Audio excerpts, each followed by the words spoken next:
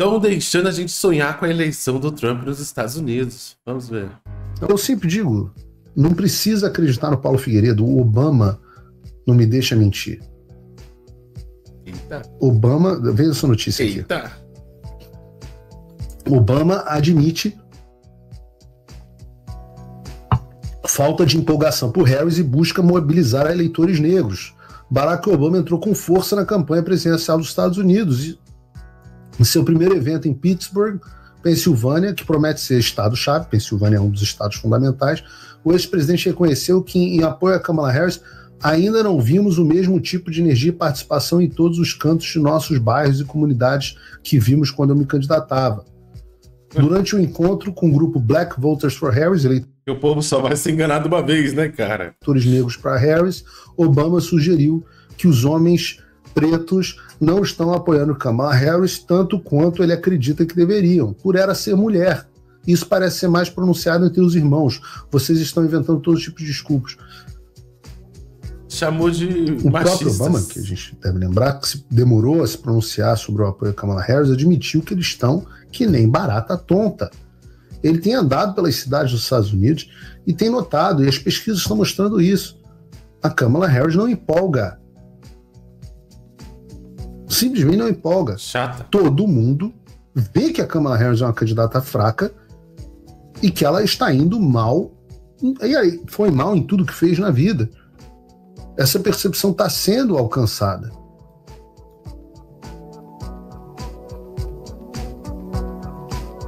Agora, a Kamala Harris também não só está enfrentando essa crise com os grupos demográficos principais, como também uma crise interna na campanha dela entre a campanha dela e a equipe do presidente Joe Biden. De novo, vejam essa reportagem do site Paulo Figueiredo Show. Eu falo do site Paulo Figueiredo Show porque simplesmente não tem outro lugar na mídia é, onde você. Você é muito grande. Onde você consiga acompanhar esse tipo de notícia. Por isso que a gente está ele. Tensões aumentam entre a equipe de Biden e a campanha de Kamala Harris. De graça, notícia de graça no site Paulo Figueiredo Show. Bota aí pra gente, Bruno. A matéria diz assim: as tensões estão crescendo entre a administração do presidente Joe Biden e a campanha da vice Kamala Harris, com membros sêniores da equipe de Biden sendo rotulados como emocionalmente envolvidos demais para apoiar totalmente Harris após ele ter sido forçado a sair da corrida presidencial, revelaram as fontes internas do Axios. Biden e Harris, ou seja, o time do Biden é puto com o time da Kamala Harris e por isso é, o apoio é um apoio meia-boca. Biden e Harris têm tido dificuldade para se alinhar desde que ela anunciou que substituiria Biden como a principal candidata democrata em, em julho. Um exemplo recente ocorreu quando Biden realizou uma conferência de imprensa improvisada no momento em que Harris estava prestes a realizar um evento em Michigan na última sexta-feira, o que garantiu que ela recebesse menos cobertura ao vivo. Antes disso, Harris criticou o governador da Flórida, Ron DeSantis, por supostamente ter ignorado sua ligação sobre o furacão Milton, o que ele negou ter recebido. Logo antes de Biden minar sua declaração, elogiar DeSantis, chamando de gentil e cooperativo, diz o Axios. Além dessas falhas públicas entre a administração e a campanha, um aliado próximo de Harris disse à publicação que alguns assessores sêniores de Biden não estão totalmente comprometidos em apoiar o novo ticket presidencial sentindo-se desrespeitados. De acordo com pessoas familiarizadas, isso é fofoca de bastidor do Axios, hum. mas vamos lá. De acordo com pessoas familiarizadas com os bastidores da Casa Branca e da campanha, vários membros da equipe de Biden migraram para a campanha de Harris, mas alguns se sentem rotulados como desleais por fazer essa transição ou até mesmo por considerá-la. Dentro da própria equipe de Harris também há tensões entre aqueles que sempre foram leais a ela desde o início e que os novos membros que vieram da equipe de Biden.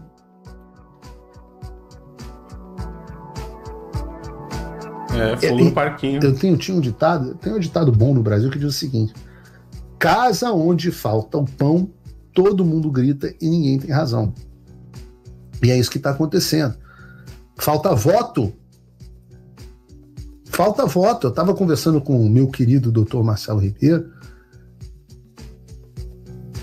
e ele está dizendo é impressionante como a campanha da Kamala Harris parece desesperada até brigando com Biden. Biden nunca aceitou.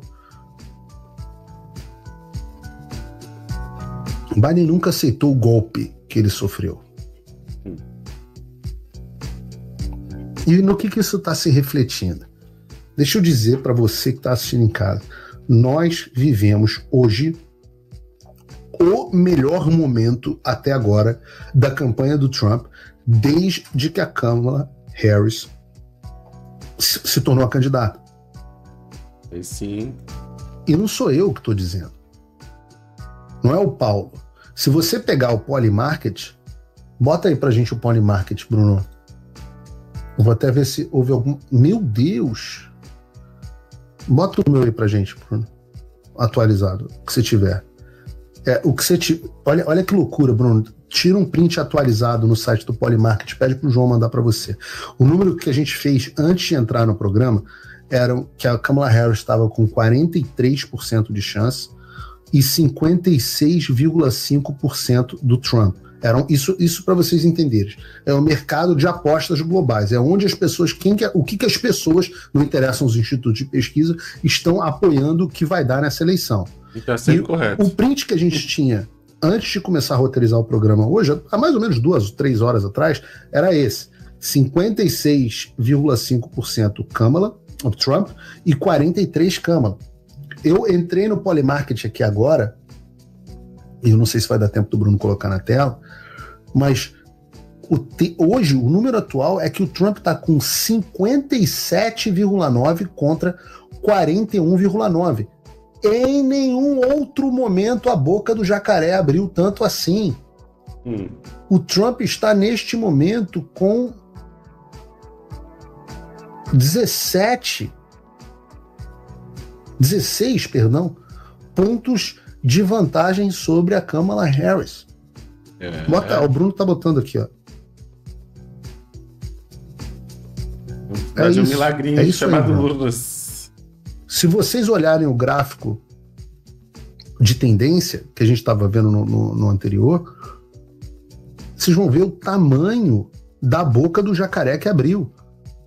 Ora, reparem, a gente está aqui um, pouco um, um mês atrás, em 22 de setembro, a Câmara estava com um certo grau de favoritismo. Depois a coisa ficou embolada e estava mais ou menos embolada. E depois disso, hoje, não é opinião do Paulo, não é opinião do, do Guga Chakra, opinião do fulano, opinião do Beltrano. O fato hoje é que Trump tem a maior vantagem em termos de favoritismo em relação à Kamala Harris. Isso é importante porque é onde as pessoas estão botando o seu dinheiro. Não é Instituto A, ou Instituto B, ou Instituto C. É a sensação da população em onde elas estão botando esse dinheiro. E aí eu pergunto para vocês: se nós temos uma mídia que chega ao ponto de editar para consertar as respostas da Kamala Harris na CBS nos 60, é, 60 minutos, como pode que é o fantástico americano, vamos chamar assim, como pode a população estar 16 pontos achando que o Trump é favorito? De novo, não é a opinião do Paulo.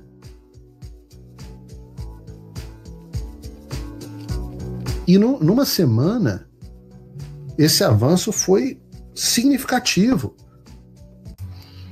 Olá, eu espero que você esteja aproveitando esse vídeo. O canal bom. Olavo do Carvalho foi criado por apoiadores do jornalismo independente.